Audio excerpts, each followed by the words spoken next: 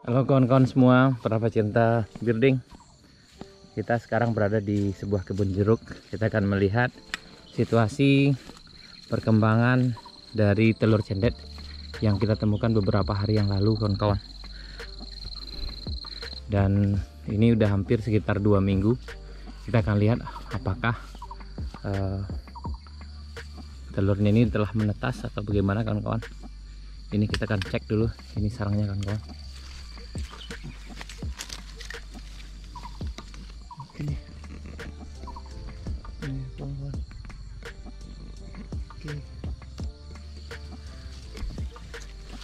Biasanya telur cendet ini akan menetas dalam eh, dua minggu pengeraman kawan-kawan. Tapi apakah ini telah menetas atau belum? Kita akan cek dulu. Nih tempatnya kawan-kawan.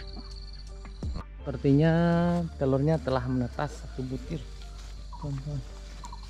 Nah, ini kawan-kawan sepertinya telurnya baru saja menetas ini dan di sini ada dua butir telur jadi kemungkinan telur yang satu ini akan menetas hari ini atau besok